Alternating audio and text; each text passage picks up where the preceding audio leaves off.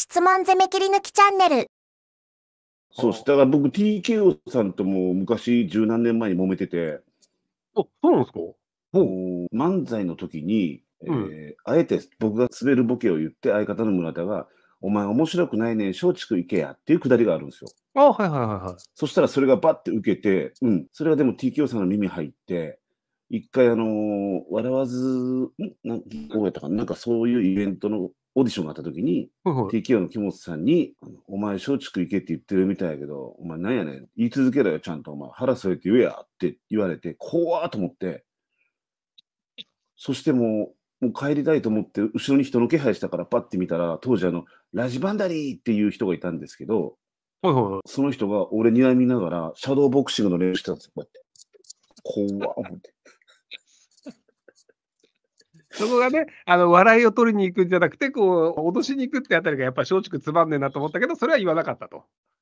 言わなかった。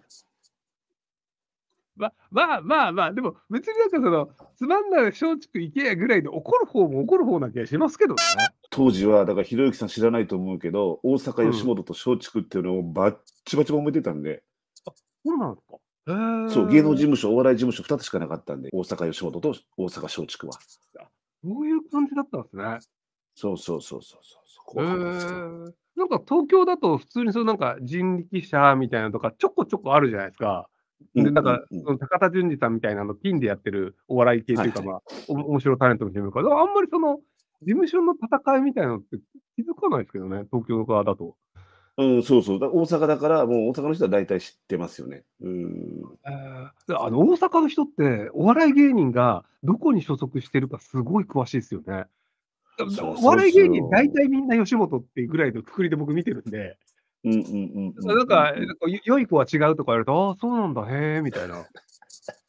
そうですね。やっぱ NG 系があるからじゃないですか、電動ね。大阪ナンバーグランド花月がある。もうちっちゃい頃からお笑いの環境に育ってるんで。まあ、でも俺大阪じゃないんですけど、出身は宮崎なんで。あ、そうなんですか？へはい、ー俺、き九州の宮崎です。はいあ、じゃあ大阪からしてもちょっと戸ざまな感じなんですか？うん、ちょっと違います。だから、キャッチコピーとかがすごいいつも違和感あったんですよ、大阪の時。うん。漫才出てくるんですはい、どうもって出てくる時に、宮崎が生んだ大阪の宝、トロサーモンって言って、いや、どっちやねん、これど、どっちのこと言ってんねんみたい宮崎なのか大阪なのかようわな。からんみたいな。そう、わかんないのがありましたよ。えー